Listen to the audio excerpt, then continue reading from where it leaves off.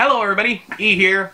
Welcome to a different kind of video. Today I'm going to be reviewing a subscription service. Uh, it's not a box service, it is Scribd.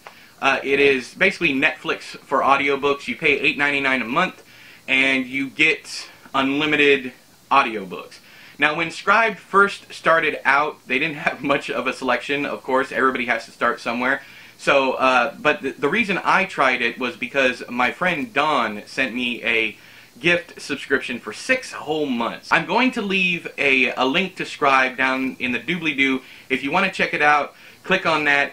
Uh, so many of you signed up that I now have uh, the updated time frame for my free for my free uh, trial has gone all the way to April 2021. Um, so yeah, that's that's kind of nuts. Sorry, April 2022. Um, so uh, all the way into you know it's two two years from now. So thank you so much for doing that. But the link down there in the doobly doo is to uh, a friend of mine. His name is Wayne Finland. He is the one who suggested that I put the link to Scribd and to get the free months. He's the one who suggested it. So thank you so much, Wayne. Please, everybody, if you want to try out this service uh, after the end of this video, please use his link down there in the doobly-doo. The first thing I'm going to mention about this service is its piracy problem. Um, I was going through, I was trying to find uh, an audiobook copy of The Chain by Adrian McKinty, I think it was. I wasn't enjoying the book, and I wanted to just, you know, just find out what happened. I was going to put it up times three speed and blow through it, but that is that that doesn't really matter. Um, but how I found how I found the piracy problem was looking for that book. I noticed that the only copy of the book that was available was from a user and not the publisher. And then I started looking through some of the other documents, um, and I found Zoe or Zoe Stage's Baby Teeth. I found numerous other books, PDFs that were uploaded by users. It is it's a huge problem. I reached out to uh, McKinty and to Stage, and I told them both, um, and they at first they thought it was a torrent site. Well, uh, Stage did. She thought it was a torrent site, but looking into it farther, she decided to send it to the uh, to the copyright department of her publisher. Um, so this is a major, major problem, and the reason for that is because anybody can upload anything they want without any gatekeepers. I don't know why this is a thing. Um, if anything is uploaded, uh, you, you would think they would have some kind of algorithm or something in place to not allow PDFs. Now, when I reached out to uh, Scribd for a comment, the only comment I got was uh, you, there is a copyright uh, procedure uh, that, that, that basically authors have to jump through hoops uh, to actually get their book taken down, which is absolutely ridiculous. All we should have to say is, hey, this person uploaded the book, please take it down, and that should be it. There's absolutely no reason why anybody can upload a book without checks and balances.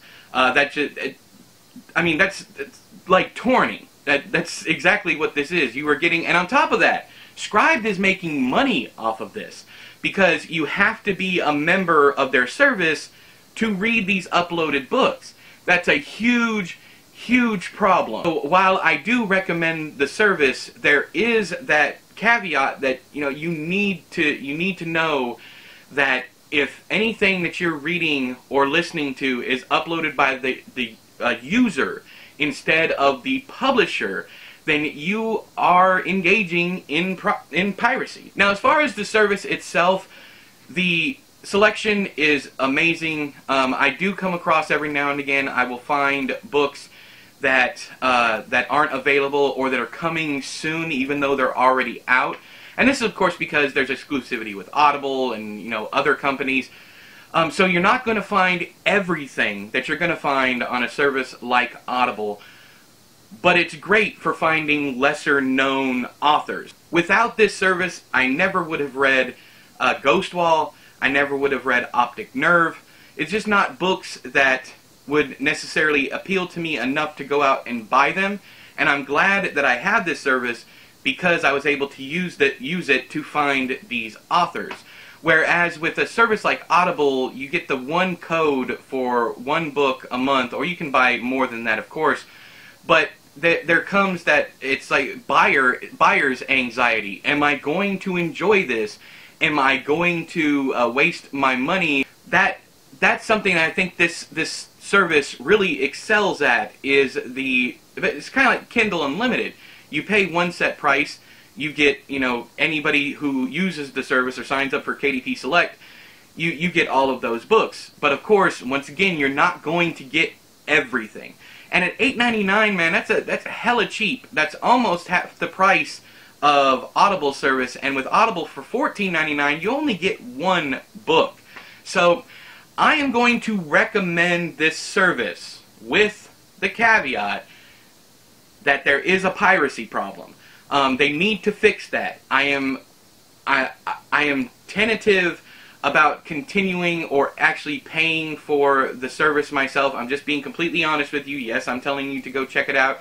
You get a 60-day free trial. Check it out yourself.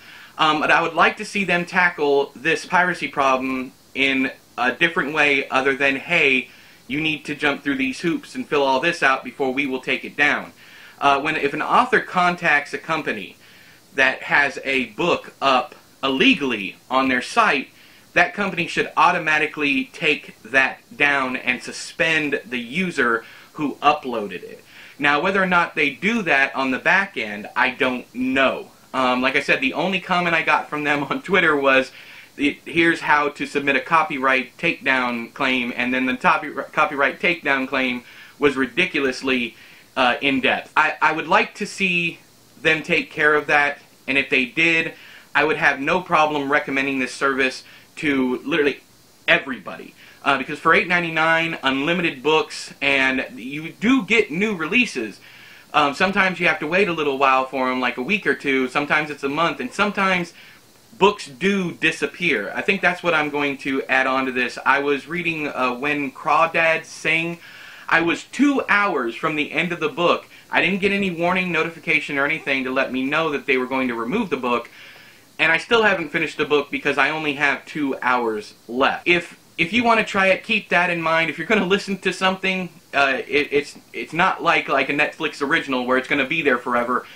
You're, you're it's going to disappear at some point in time. Uh, some of them might not, but I would I would let you guys know that it it, it can happen because it's happened to me. But I think that's everything for today's video. Uh, it was kind of a rambly, all over the place review. Uh, I apologize for that, but uh, this is the first that I'm reviewing a service. If you guys would like to see me review other services like this, um, yeah, I, I, don't know what else is available. That's why I'm asking you guys. Leave your comments down there in the doobly-doo. But until next time, I have been E, you have been you. This has been another service subscription review. I don't know. I'll talk to you guys later. Bye-bye.